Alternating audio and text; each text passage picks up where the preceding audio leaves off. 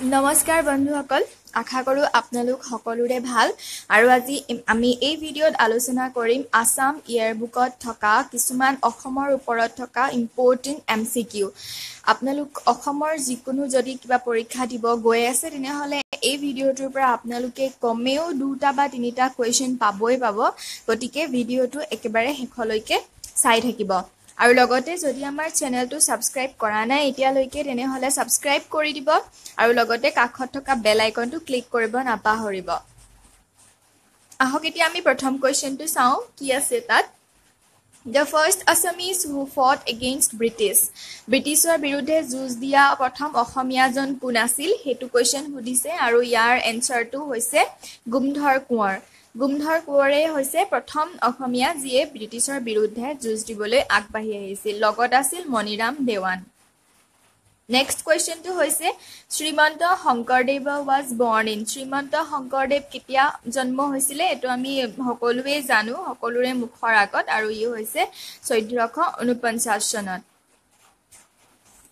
Next কুৱেশ্যনটো who bill the ধুদৰ আলি ধুদৰ আলি ধুদৰ আলি কেনেধৰণে বনাইছিলে সেইটো এটা অতি অতি মানে আমোদজনক কাহিনী। আপোনালোকে তাৰ বিষয়ে জানিব ধুদৰালিৰ বিষয়ে। আৰু এই ধুদৰালি কোনে বনাইছিলে? সেই সময়ত সেইটো হৈছে গদাধৰ সিংহ। গদাধৰ সিংহই ধুদৰালি বনাইছিলে।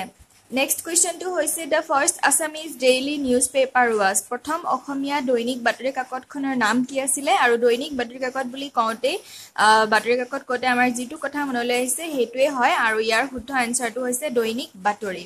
দৈনিক বাতৰিখনেই হৈছে আমাৰ প্ৰথম Asomiya daily newspaper next question হৈছে Hasti Vidyarnava was compose during the reign of Hasti Vidyarnava যিখন কিতাপ সেইখন কোনে কাৰ সময়ত লিখা হৈছিলে কাৰ সময়ত কম্প'জ কৰা হৈছিলে? সেয়া হৈছে শিৱসিংহ। শিৱসিংহৰ দিনত হস্তি বিদ্যাৰ্ণৱখন কম্প'জ কৰা হৈছিলে। নেক্সট কুৱেশ্যন হৈছে the tallest existing temple in Assam অসমৰ সকলোতকৈ ওখ যিটো মন্দিৰ সেই মন্দিৰটোৰ নাম কি সুধিছে? সেয়া হৈছে আমাৰ কি হৈছে? Shiva temple Shiva temple at Sivasagar. আৰু এই শিৱ টেম্পলটো কাৰ দিনত বনোৱা হৈছিল? সেয়া হৈছে ৰুদ্ৰসিংহৰ দিনত ৰুদ্ৰসিংহই বনাইছিলে শিৱ টেম্পলটো বৰ বৰকুঁৱৰী ফুলেশ্বৰীৰ লগত ফুলেশ্বৰীৰ দ্বাৰা।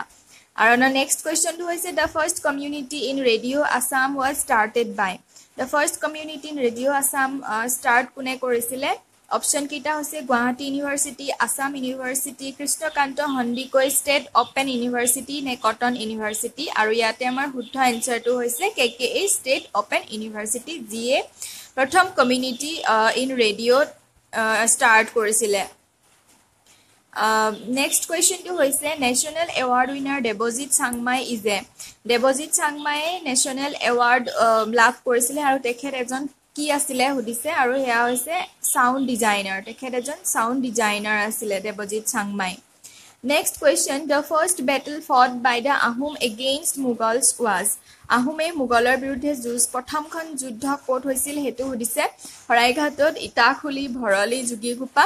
আৰু ইয়াৰ শুদ্ধ এনচাৰটো হৈছে ভৰলী নদী। ভৰলী নদী ভৰলী ভৰলী জেগাত হৈছিলে আৰু ভৰলী নদীখনৰ কাষতেই সেই যুদ্ধখন হৈছিলে যিটো বৰ্তমান যোৰহাটৰ ওচৰত।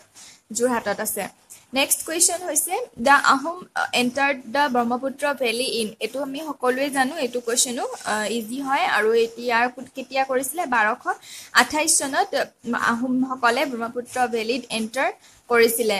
Next question the Tai Ahom name of Bamuni Konwar Tai Ahom name যিকোনো ৰজা ৰজাবিলাকৰ আহোম ৰজাবিলাকৰ টাই আহোম নেইমটো অতি গুৰুত্বপূৰ্ণ অতি ইম্পৰ্টেণ্ট হয় মনত ৰখাটো দৰকাৰ। আৰু তাতে বামুণী কোঁৱৰৰ নামটো আৰু মনত ৰাখিব। আৰু তেখেতৰ টাই আহোম নামটো কি হৈছে? সেয়া হৈছে চুডাংফা চুডাংফা বা বামুণী কোঁৱৰ নেক্সট কুৱেশ্যন পথৰুঘাটৰ ৰণ টুক প্লেচ এট পথৰুঘাটৰ ৰণখন কেতিয়া ক'ত হৈছিলে কোন জেগাত হৈছিলে সুধিছে ইয়াৰ শুদ্ধ এনচাৰটো হৈছে দৰঙত। এইখন এখন পিজেণ্ট মুভমেণ্ট আছিলে কৃষক বিদ্ৰোহ আছিলে পথৰুঘাটৰ ৰণ আৰু দৰঙত হৈছিলে। Next question the first ever national award winner Assamese singer is প্ৰথমজন অসমীয়া যিয়ে নেশ্যনেল এৱাৰ্ড লাভ কৰিবলৈ সক্ষম হৈছিলে সেয়া কোন? সেয়া হৈছে তৰালী শৰ্মা। তৰালী শৰ্মাই প্ৰথমগৰাকী অসমীয়া যিয়ে নেশ্যনেল এৱাৰ্ড লাভ কৰিবলৈ সক্ষম হৈছিল। নেক্সট কুৱেশ্যন হৈছে Sahitya Akademi award winning book book Deolangkhui is written by দেৱলাংখুইখন কোনে লিখিছিলে সুধিছে। যিয়ে সাহিত্য একাডেমী এৱাৰ্ড লাভ কৰিছে দেৱলাংখুইখন ৰীতা চৌধুৰীয়ে লিখিছিলে। Rita Choudhury is the correct answer here next question the first capital of Ahom আহোমৰ প্ৰথম কেপিটেলখন কোনখন সেয়া প্ৰথম কেপিটেল চৰাইদেউ প্ৰথম কেপিটেলটো হৈছে চৰাইদেউ। ইয়াত হাবুঙো হাবুঙো প্ৰথম প্ৰথম আহি হাবুঙত কৰিছিলে তেওঁলোকে। কিন্তু হাবুংখন বেছি দিনৰ কাৰণে তেওঁলোকে তাতে কেপিটেল ৰাজধানী পতা নাছিলে। অস্থায়ীভাৱে আছিলে। তাতে যথেষ্ট বানপানী হৈছিলে। পানী হোৱাৰ কাৰণে সেই অঞ্চলৰ পৰা গৈ চৰাইদেউত তেওঁলোকে কেপিটেল স্থাপন কৰিছিলে। গতিকে কনফিউজ নকৰিব। যদি ফাৰ্ষ্ট কেপিটেল অফ আহোম বুলি সোধে আমি চৰাইদেউ ক'ব লাগিব। নেক্সট কুৱেশ্যন হৈছে the first Assamese colour film was প্ৰথম ৰঙীন অসমীয়া বোলছবিখনৰ নাম কি? সেইটো মনত ৰাখিবলৈ সহজ হয়। সেইখনৰ নাম কি হৈছে? ভাইটি। ভাইটিখন হৈছে first Assamese colour film next the capital of Assam shifted from Rangpur to Jorhat in ৰংপুৰৰ পৰা যোৰহাটলৈ অসমৰ কেপিটেল কেতিয়া চিফ্ট কৰা হৈছিলে? আৰু তাৰ চনটো হৈছে seventeen hundred ninety four seventeen hundred ninety ফ'ৰতে Jorhat ৰংপুৰৰ পৰা যোৰহাটলৈ কেপিটেল চিফ্ট কৰা হৈছিলে। Next question the first civil service from Assam was প্ৰথম চিভিল ছাৰ্ভেণ্ট লাগে প্ৰথম চিভিল ছাৰ্ভেণ্ট অসমৰ পৰা প্ৰথম কোন আছিল?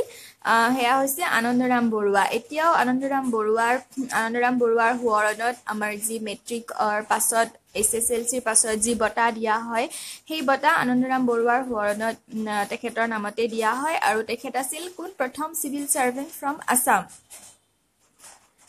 answer A next question the astrologer of Lachit Borphukan astrol Lachit বৰফুকনৰ এষ্ট্ৰলজাৰৰ নাম। আৰু তেখেতৰ নাম হৈছে কি? সমুদ্ৰ খাৰী। সমুদ্ৰ খাৰী আছিলে এষ্ট্ৰলজাৰ অফ লাচিত বৰফুকন মনত ৰাখিব। Next question which one of the following is not a river of Manipur মণিপুৰৰ কোনখন ৰিভাৰ নহয় সুধিছে। লোকটাক ট্ৰিল বৰাক নম্বাল। এইকেইটাৰ ভিতৰত যিটো আমাৰ লোকটাক লোকটাকটো যিহেতু হ্ৰদ হয় তো গতিকে ইয়াৰ অপশ্যন আমাৰ শুদ্ধ অপশ্যনটো কোনটো হ'ব? সেই লক লোকটাকটো। লোকটাকটো মণিপুৰৰ এটা হ্ৰদ হয়। Next question the father of Assamese prose is অসমৰ অসমীয়া গদ্যৰ জনক কোন সুধিছে? আৰু তেখেত তেখেত হৈছে তেখেত হৈছে ভট্টদেৱ। ভট্টদেৱ হৈছে father of Assamese prose next question the smallest among all books written by Sankardev is শংকৰদেৱে লিখা সকলো কিতাপৰ পৰা সকলোতকৈ সৰু কিতাপখন কোনখন? আৰু সৰু কিতাপখন আমি জানো নিশ্চয় সেয়া হৈছে গুণমালা। গুণমালাখন হৈছে সকলোতকৈ সৰু কিতাপ। শংকৰদেৱে লিখা।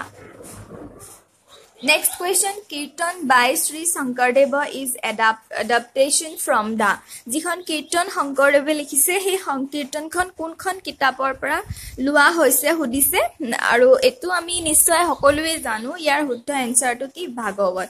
ভাগৱতখনৰ পৰাই আমাৰ যি কীৰ্তন কিতাপখন সেইখন শংকৰদেৱে লিখি উলিয়াইছে।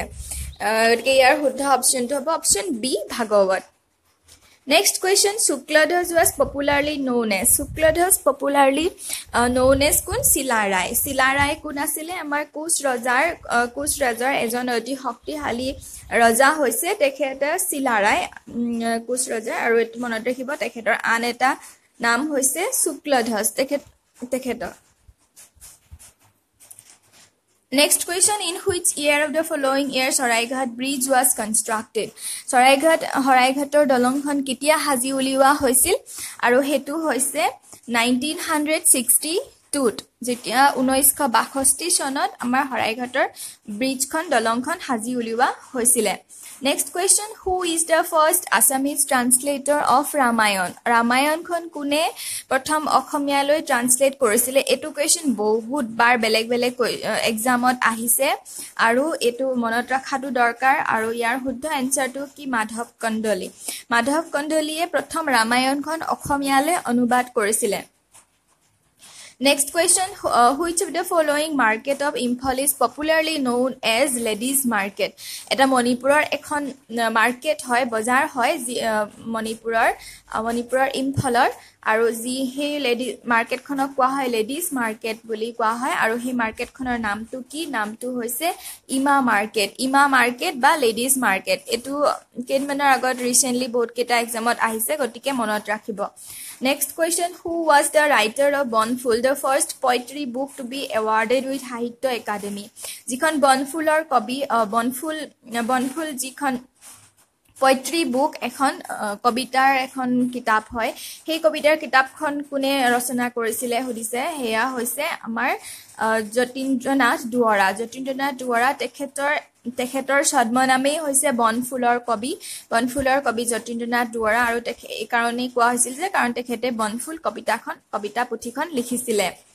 Next question which of the following years the wild indigenous tea plant discovered in Assam tea অসমৰ এটা অতি গুৰুত্বপূৰ্ণ এটা উদ্যোগ। চাহ চাহ উদ্যোগটো এটা অতি গুৰুত্বপূৰ্ণ ইম্পৰ্টেণ্ট এটা উদ্যোগ হয়। আৰু এই টি প্লাণ্টটো কোন কেতিয়া ডিছকভাৰ কৰিছিলে আমাক সেই কুৱেশ্যনটো সুধিছে। ওঠৰশ বিছ চনত আমাৰ টি প্লাণ্টটো ডিছকভাৰ কৰিছিলে।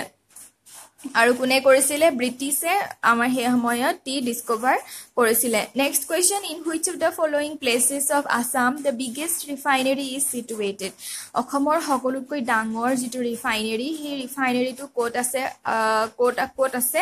আৰু তাৰ এনচাৰটো হৈছে নুমলীগড়। যিটো নুমলীগড় ৰিফাইনেৰী হয় সেইটো হৈছে অসমৰ biggest refinery Next question Which of the follow one of the following refinery in Assam is known as Assam Accord Refinery? Option কেইটা হৈছে Numaligarh Bongaigaon Digboi Noonmati why it is known as the Assam Accord Refinery? কাৰণ যিটো আমাৰ Assam accord refinery nineteen hundred Assam একৰ্ডখন যেতিয়া nineteen hundred এইটি ফাইভত লোৱা হৈছিলে তাতে এই ৰিফাইনেৰীটো এষ্টাব্লিছ কৰাৰ কথা উল্লেখ কৰা আছিলে আৰু তাৰ মতে ৰিফাইনেৰীটো বনোৱা হৈছে আৰু কোনটো ৰিফাইনেৰী বনোৱা হৈছে সেইটো হৈছে নুমলীগড়। যিটো আমি অলপ আগত পাই আহিছিলোঁ যে অসমৰ বিগেষ্ট ৰিফাইনেৰী হয় নুমলীগড় ৰিফাইনেৰীটো আৰু সেইটোৱে আছাম একৰ্ড ৰিফাইনেৰী বুলি কোৱা হয়। Next question in which of the following years Digboi oil field were discovered oil ফিল্ডখন কেতিয়া ডিছকভাৰ হৈছিলে সুধিছে আৰু অইল ফিল্ডখন ডিছকভাৰ হৈছিলে এইটিন হাণ্ড্ৰেড এইটি নাইনত এতিয়া আপোনালোকে মোক ক'ব লাগে অইল ফিল্ডখনটোতো এইটিন এইটি নাইনত ডিছকভাৰ হৈ গ'ল কিন্তু যিটো ৰিফাইনেৰী ডিগবৈ অইল ৰিফাইনেৰীটো স্থাপন হৈছিলে সেইটো কোন চনত স্থাপন হৈছিলে সেইটো মোক তলত কমেণ্ট কৰি আপোনালোকে মোক জনাব লাগে। নেক্সট কুৱেশ্যনটো হৈছে which of the following refinery is the oldest of Asia এছিয়াৰ ভিতৰতে সকলোতকৈ পুৰণা যিটো ৰিফাইনেৰী সেইটো কোনটো? সেইটো হৈছে আমাৰ ডিগবৈ অইল ৰিফাইনেৰী সেইটো আমাৰ সকলোৱে জানে অসমতে প্ৰথম প্ৰথম অইল ডিছকভাৰ হৈছিলে oil refinery next question in which of the following places Asia's first tea research centre is located এছিয়াৰ ভিতৰতে প্ৰথম টি ৰিচাৰ্চ চেণ্টাৰটো ক'ত ক'ত ক'ত লোকেট ক'ত অৱস্থিত? সেইটো সুধিছে আৰু ইয়াৰ শুদ্ধ আনচাৰটো হৈছে যোৰহাট। যোৰহাটৰ ক'ত আছে? যোৰহাটৰ টুকলাইত আছে টুকলাইট টি ৰিচাৰ্চ চেণ্টাৰ তাতে আছে। Next question in which of the following year Guwahati tea auction centre was establish গুৱাহাটীৰ টি অকশ্যন চেণ্টাৰটো ক'ত কেতিয়া কোন চনত এষ্টাব্লিছ হৈছিলে সেইটো হৈছে ঊনৈছশ সত্তৰ চনত। ঊনৈছশ সত্তৰ চনত গুৱাহাটী টি অকশ্যন চেণ্টাৰটো এষ্টাব্লিছ হৈছিলে। In which district of upper Assam has maximum number of tea garden tea garden সকলোতকৈ বেছি ক'ত আছে? যিসকলে আমাৰ অসমখন ফুৰিছে তেওঁলোকে আপাৰ আছামৰ ফালে গৈছে তেওঁলোকে নিশ্চয় গম পাইছে কোনখন ডিষ্ট্ৰিক্টত বেছিকৈ আছে।